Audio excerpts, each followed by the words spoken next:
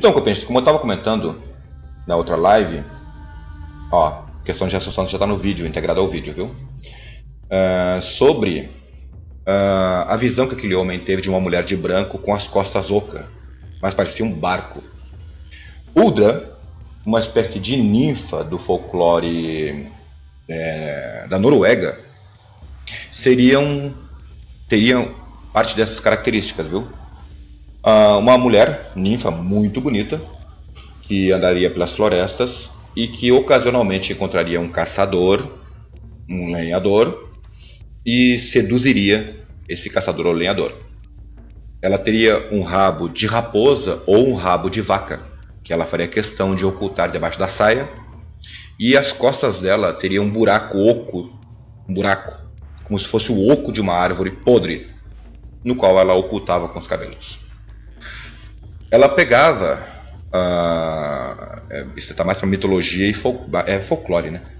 Olha as costas ocas dela ela pegava os lenhadores, caçadores e o caçador ou lenhador tinha que satisfazê-la, tinha que dar satisfação a ela. Se o caçador não satisfizesse as suas necessidades carnais, a Udra matava ele. Mas, se o caçador satisfizesse, certo? os encantos da Udra, ela abençoava ele com sorte.